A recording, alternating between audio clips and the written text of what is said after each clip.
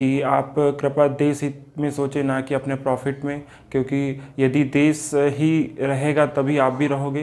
तो कृपया अपना प्रॉफिट भूल के हम इस महामारी से लड़ सकते हैं।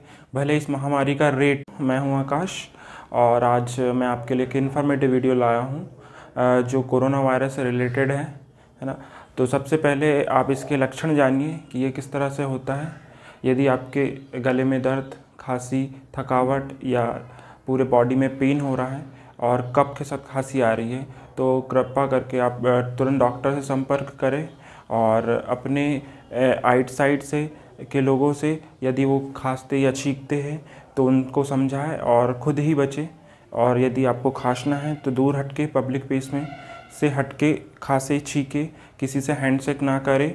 और यदि आज देखा जा रहा है कि इस बढ़ती बीमारी के कारण भी कई लोग इसका फ़ायदा उठाते हुए बिज़नेस में अपना ग्रोथ करना चाह रहे हैं और सैनिटाइज़र आज 500 500 रुपए पर पीस बेचा जा रहा हो। या मास्क की बात करें तो मास्क जो जनरल मास्क बीस, तीस या पचास रुपए का आता है, वो जनरली आज पाँच सौ रुपये में बेचा जा रहा है। तो उन सभी व्यापारी लोगों से भी मेरा रिक्वेस्ट है कि आप कृपा देश हित में सोचें ना कि अपने प्रॉफिट में, क्योंकि यदि देश ही रहेगा तभी आप भी रहोगे।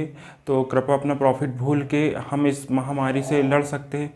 भले इस महामारी का रेट स्लो हो, तीन से चार परसेंट हो, लेकिन आपको और हमें ज़रूरत है कि हम गवर्नमेंट का साथ दें और लोगों को इसके प्रति अवेयर करें।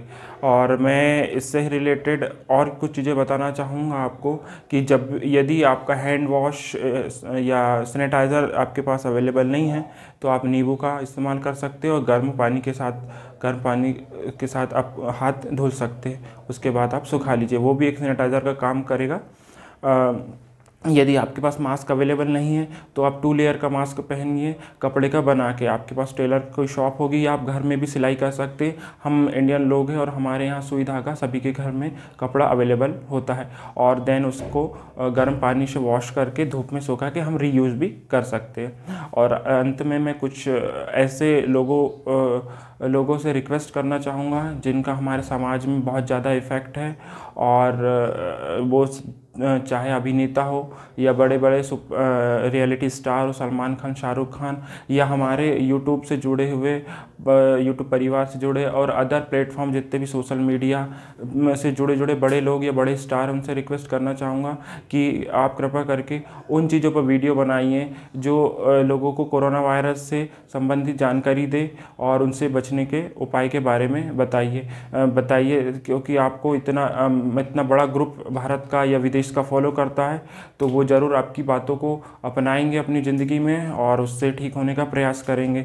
हम बाद में हमारी चीज़ें और बाद में हमारी अदर चीज़ें कर सकते पढ़ाई से रिलेटेड और, लेकिन ये महामारी से लड़ना हमारे लिए बहुत ही अत्यंत ज़रूरी है। तो बड़े बड़े जो भी यूट्यूबर से वो भुवन बम हो आशीष चंचलानी हो या अमित बड़ाना हो, हमारे यूपी, बिहार के अदर यूट्यूबर्स मनोज दे भाई हो, इन सभी से रिक्वेस्ट है कि आप कृपा करके इन चीज़ों पे वीडियो बनाएँ जो कोरोना वायरस से रिलेटेड है और आप जो लोगों को इसके बारे में जागरूक और सतर्क करें।